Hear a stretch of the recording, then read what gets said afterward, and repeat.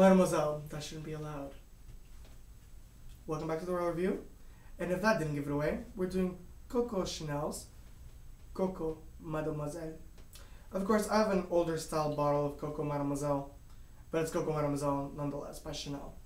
So I'm going to try to give you a somewhat view of the bottle. So it's pretty much a clear bottle, gold band, white top. Here, what you probably can't see right there is where it actually says Coco Mademoiselle by Oh, you can sort of see it with the glare. Sorry about the blindingness. That's what it looks like without the lid. Very simple bottle. I can smell it already because I'm in love. Okay, so I'm going to skip all the hoopla and go straight to reviewing Coco Mademoiselle by Chanel. By the way, this is the Eau de Parfum, not the Eau de Toilette. Because the Eau de Toilette, some of the Eau de Toilette bottles look exactly like this, but the Eau de Parfum always has the gold band.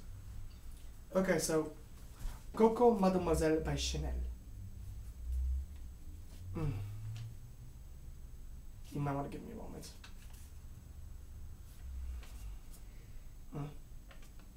Okay. Stop getting distracted. It's citrusy, so mine. I like things with citrus. So it's so the top notes are orange, mandarin orange, orange blossom, and bergamot. Like I said, it's citrusy. That eventually quickly dries down.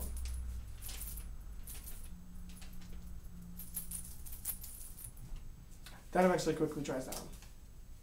Then you have mimosa, jasmine, Turkish rose, and ylang ylang. Mm.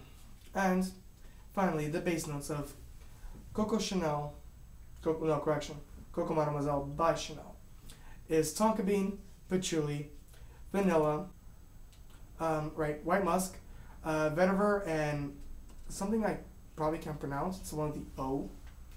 Um, I'm gonna try it, but I'm probably gonna butcher it, so spare me. I think it's Opoponics. I think I could be completely wrong. O P O P O N A X. However the hell you pronounce that, that's what that is. I have no idea what that is, but it's probably in here and I'm probably smelling it and I don't even realize it. Mm. Anyways, I have to go have tea with the mademoiselle over there. Coco mademoiselle.